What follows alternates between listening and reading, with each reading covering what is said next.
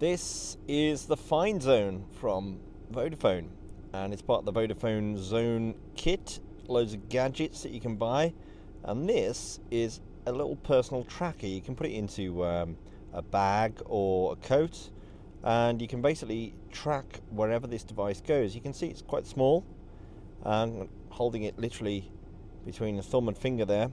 Uh, in the side here is a SIM card which Vodafone supply. You have to pay a monthly rental for that. Uh, the device is quite cheap. You can see here the charging point here is behind a rubber flap and um, the battery life is mentioned in the review here. You can adjust the battery life just depending on how much you use it. On the back is the IMEI and the product number which uh, identify the units and it will synchronize with an app.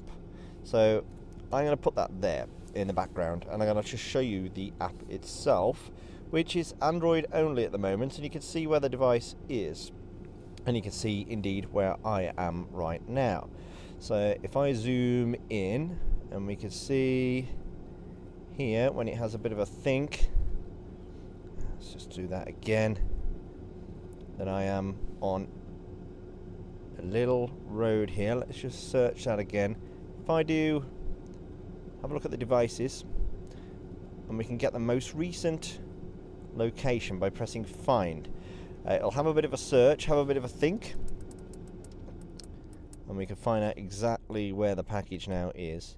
And hopefully it will tell you that uh, indeed the device has moved since this bit of information has been supplied.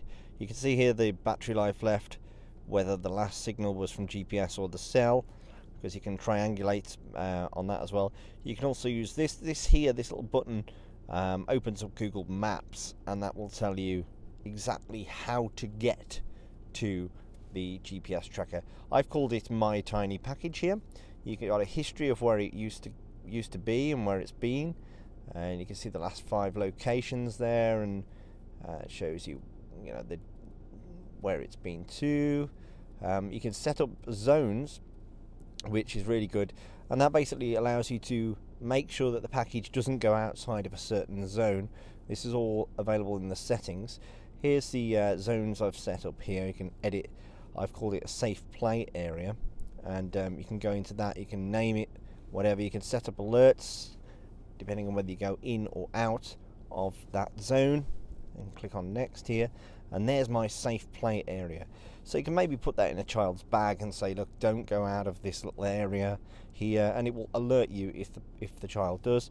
And then all you need to do is go back to the main screen here, and then click on this, and it will uh, navigate you instantly directly to where the package is. So you can see I am right next to the package, so obviously it's a bit insane for me to even try and locate it because it's right there.